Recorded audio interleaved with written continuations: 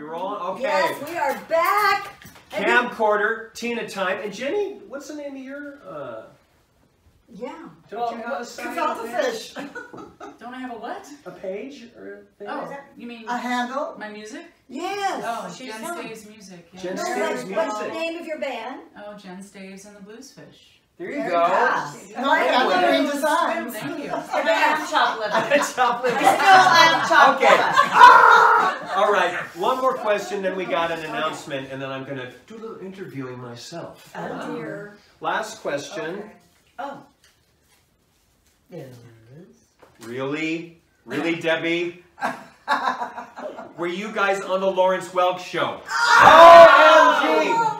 For 50, how, how old are you? For 700 years. Never. Since, Never the, ci- asked that since the. Civil War, people have thought we were on the our Lawrence Welk show.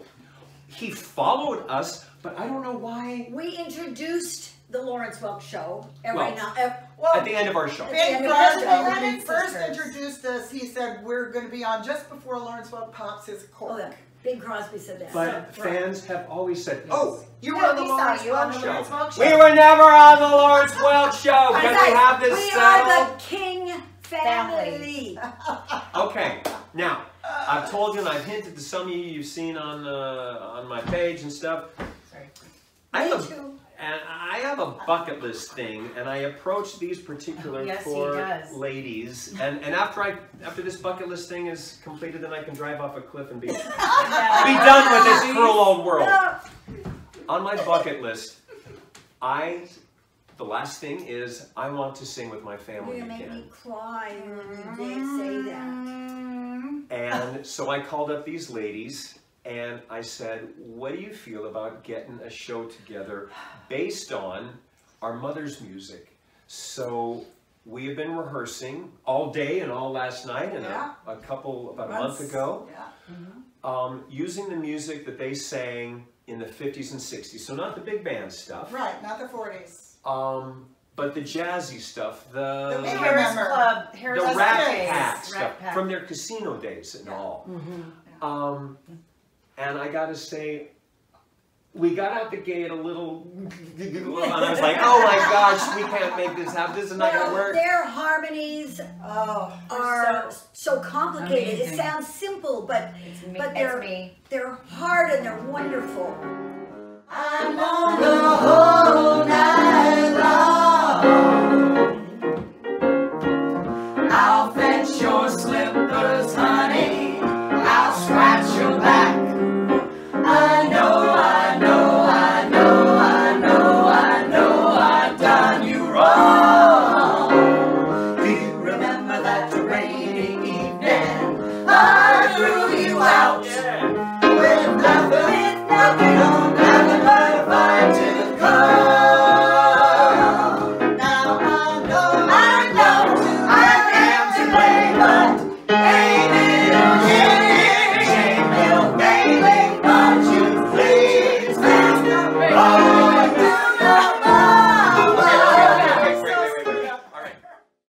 So I have a friend, uh, Troy Dexter, who is going to be has taken these old records and he is by ear taken these uh, Parts. parts off of uh, off of these songs. Oh yeah. And so we're doing like our mom's Charts. casino club. Tribute to the King And sisters. they were gnarly. Their- But we've also heard crazy. most of the songs, most of our, our Lives. youth. Someone happy. They just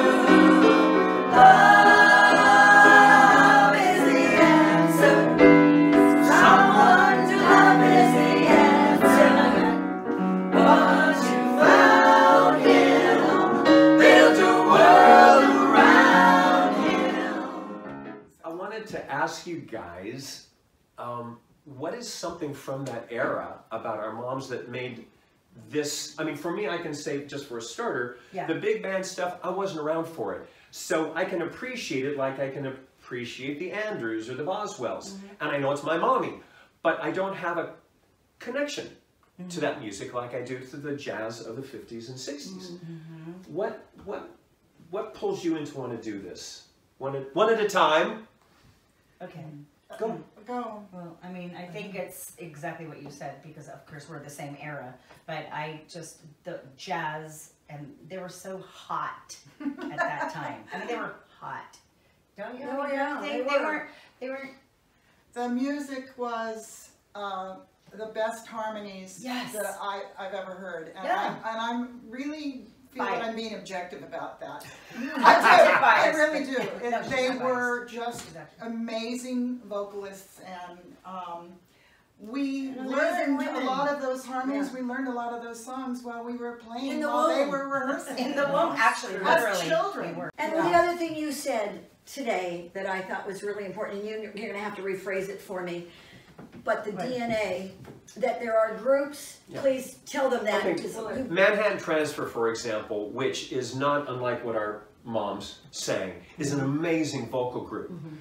But they uh, are not related. Uh, whether it's the Jackson Five or the Lennon Sisters or the Osmond Brothers or the Pointers, uh, Sister Sledge, Sledge, Yeah, when you come from the same DNA pool, Family. you you, you kind of get to cheat because you already blend. All of us are like smoky whiskey tenors, yeah, yeah, And a few sopranos. in there. And so just opening up, you know, starting to rehearse, and it's like already halfway there just because the sound, is like one, you know, one voice. yeah. Yeah. Uh, like So uh, that's Richard and. Karen Carpenter, their Yes. It gives you the Yeah. chills. Yeah. You know, Does. when you hit those harmonies and everything. Yeah, you just nail go it, It's it's so just fun. It so gives thrilling. Yeah, and yeah. Especially when it's tears really, really close. And having our baby cousin with us is extra Yeah. special because we didn't get to perform as much with you because Well, you were I- so little. I feel like I got to perform with you guys. Well, yeah, because you, but you were I in a grew up. Different, but you were in a Yeah. different I- age Bang, group. right. Age group. But she did a But she ton sang of performing. with, she Yeah, sang with her mom and with uh, Susanna. Also, Yeah. yeah, we did a tribute to the King sisters, yeah, and that was, Yeah. I think that was one of the reasons why I had no problem saying yes because we were able to do that with our mother, and that was an amazing experience to learn those parts and and sing those songs that she sang with her sisters, your mothers. Yeah. Was you know, you can't So replace that. That's No. just It's a legacy. Yeah. So It's a we're legacy. ways out, Legacy. so don't start writing and say when are you doing it. I'm thinking spring or summer of 2024. yeah. Um, and I will leave you with this one image, and I want to thank you guys on tape. Uh, Aw, tape, do no, whatever this you. is, in Cyber Stan. I have had so much fun this weekend rehearsing. Yeah. Oh, it's It been was. wonderful. And we are working on one song from their last, probably their last real album, uh, called Who Would Remember. I won't go into it other than that we couldn't get through, we're singing this for the tears and the DNA, Yeah. the DNA that we share and the memories. And they're all up there. Yep. Yeah. So I will leave you with this image. You're asleep at the hotel. Oh. They're still singing. They're probably doing their last set at what 2 a.m. Yeah. Yeah. Something like that. The door opens to your hotel room. In walks this jingling sound. It's not Santa. It's a charm bracelet on this woman's arm. Uh-huh. She comes up to you. She is wearing sable or fur or mink. She's Yeah. wearing White. Estee Lauder. Of course. Stay louder. She smells of Just tobacco. Uh, Aquanet. Aquanet, Aquanet. Aquanet, tobacco. Scotch. And the- and scotch Alcohol. from all the casino. And she leans in to kiss you goodnight. And how does she do that kiss? she doesn't want to mess up. Doesn't want to mess up her makeup. or she doesn't want us to smell their breath. Sorry. Anyway, I hope you can grasp some of that image, and I am so looking forward to sharing. Uh, this show with you for those of you that can come yeah, out to yeah. Los Angeles in 2028.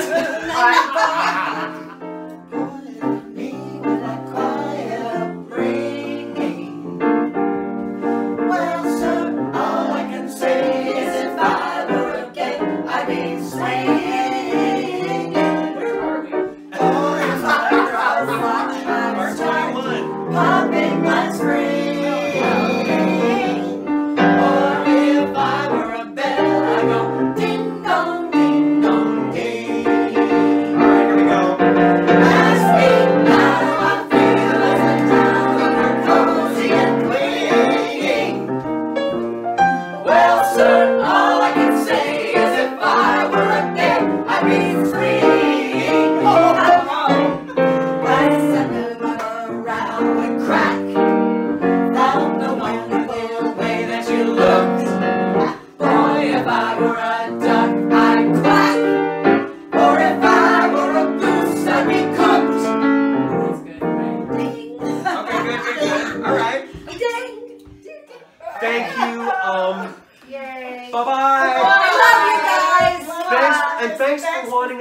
this sticking with us. for wanting us to sing together again. You, yeah, you were why reason. we're doing it. Yeah. So absolutely. thank you. Yeah. Until next time.